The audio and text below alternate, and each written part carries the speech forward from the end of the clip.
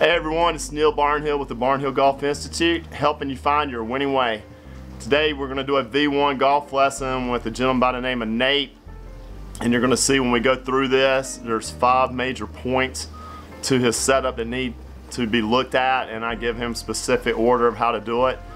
And also there's one swing thought that I'm giving him to work on right now. And I have already gotten an email back from him. He has looked at the videos and he's been able to go to the range and actually play. And he is already hitting the ball further and straighter. And he is very excited about what he's going to do in the year 2019 so tell you what that makes me really happy to see him get those kind of results because a lot a lot of you can get better immediately with changing your setup. So watch this video. It's very interesting. Uh, please make some comments like subscribe on my social media channels and for more great vlogs and blogs, please check out barnhillgolf.com.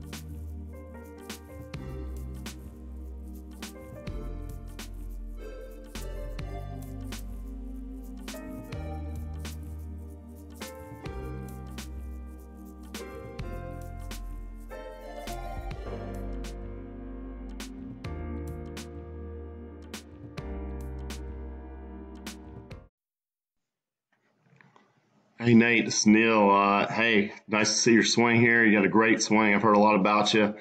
Um, got a very athletic swing. I tell you what, you got the potential to be really, really good. I see a lot of good hitting positions in what you're doing.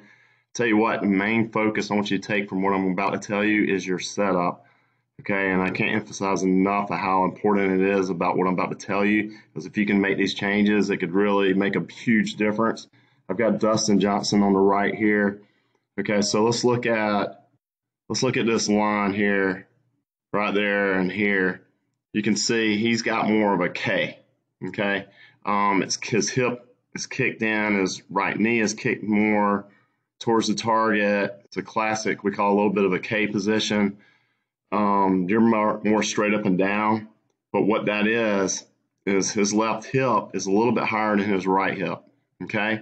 So when you kick that right knee in a little bit, a little bit of the way to bend the instep of the ball of your right foot, but also it's going to help you not to sway. So if you can kick that left hip up just a little bit, just bump it up where your left hip's a little bit higher at setup than your right hip.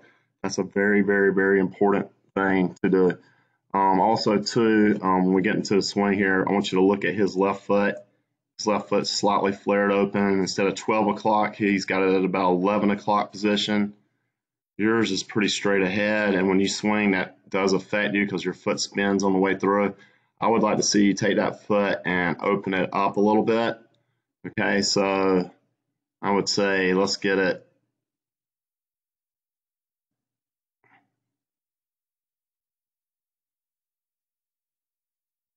a little bit more like that as opposed to straight ahead like you got it right here. Just a little bit more open, okay? That, that's going to help your left knee to be more more stable and it helps your legs to be more still in the backswing. So two things in the setup. Your left hip needs to bump up, your right knee kick in. That kind of move that works simultaneously, and then your left foot uh, flare open more. And then I need you to also in the setup make your legs stronger push down in the ground, make sure you're 50-50 on your weight, but just make your legs more stable. You got way too much leg movement. I want you to just make your legs more stable, pushing down into the ground, okay? All right, so let's start the swing here. All right, we're gonna do Dustin first here when he goes back. He's got a unique takeaway. Main thing I want you to watch here is his hips. Watch his belt, how he just turns, turns. He does not move outside that right line and at the top he is got some kind of coil more than most. He turns 120 degrees. Okay, so you take it back. You have a great one piece takeaway. I love that takeaway. Right, that's as good as I've seen with, with an amateur in a long time. That's really, really good. Okay, now your left leg just it moves too much on the get go. So if we could keep that left leg still right there, but the setup's going to help that. Okay, so you keep going and you can notice, all right, you're outside of this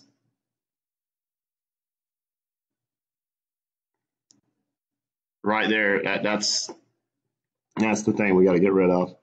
that in your swing. You got a great takeaway. Get those two things at setup, and then we got to get you out of that. Okay, so that's called swaying, and that's one of the one of the cardinal sins of a golf swing. Cannot do that. Nobody does that. We got to stop that movement. And what that's done, when you move that, you feel like you're loaded up on your right foot, but you're actually not. I want to show you here, like right here, look at that angle there that Dustin has. Okay, you feel loaded up, but you're actually almost reverse pivoted. I mean, your head is kind of, look how it's leaning towards the target.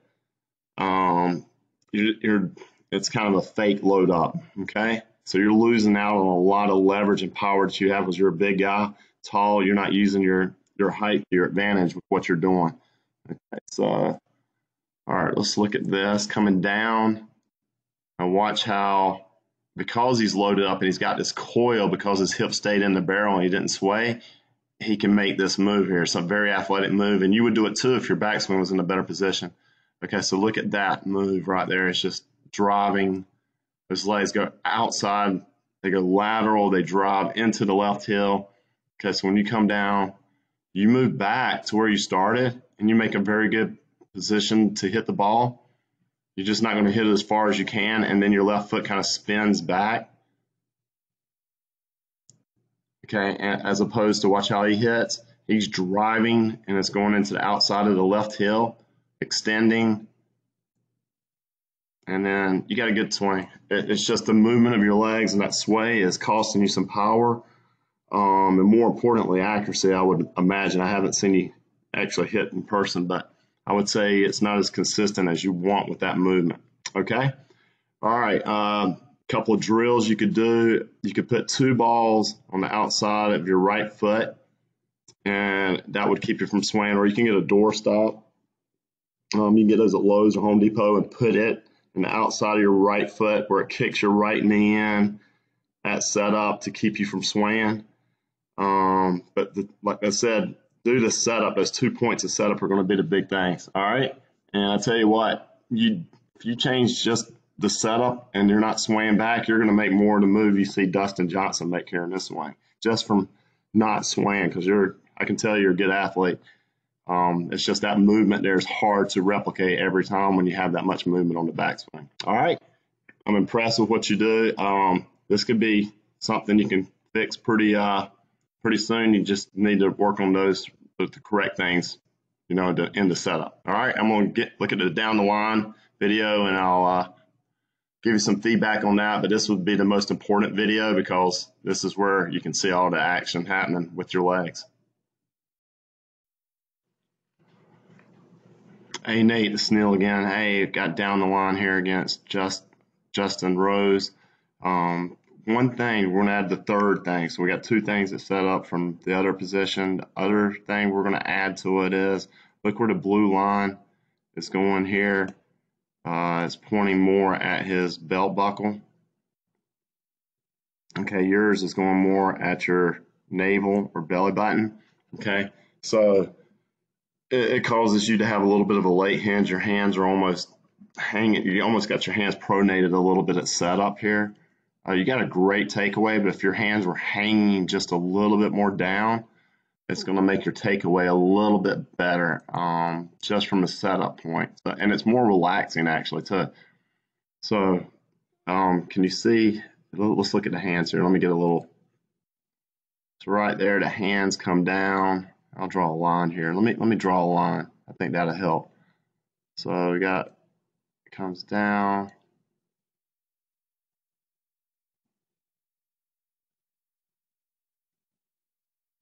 And his hand goes a little bit like that. Okay, yours almost just like straight down. So if we can get your hands to hang down a little bit more like that, it's going to help in your takeaway just a little bit. And it's also it's going to it's going to help you to relax a little bit. Okay, so let's uh, take it back. Justin Rose got a great setup.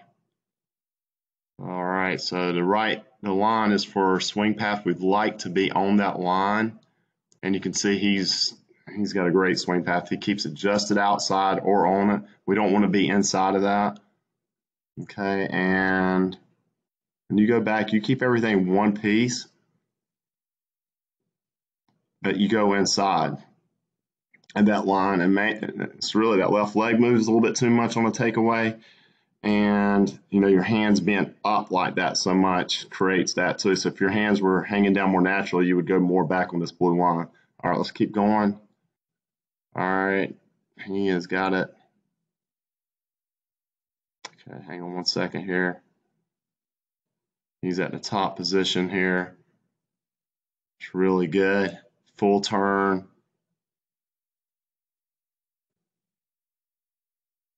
I see your hands are really late in setting because of how pronated you were at setup. So let's look at here. See how much more his hands are set at that point.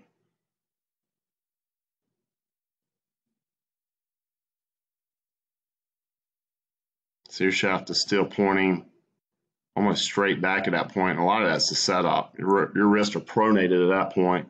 So if your hands were hanging at setup, it, it would be it'd already be better just from the setup position. Okay, so let's go back to where we were at the top.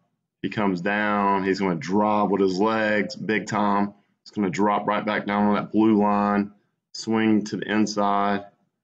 Bam. Head still down, extending. Okay, you get up at the top. And you drop it pretty good, man. I tell you what, that's a good move. You're back on plane there and pretty good extension there, really good extension. Yeah, I mean, that's really good. I don't see many people to send me videos where they're in that good a position. Heads down, you're extending.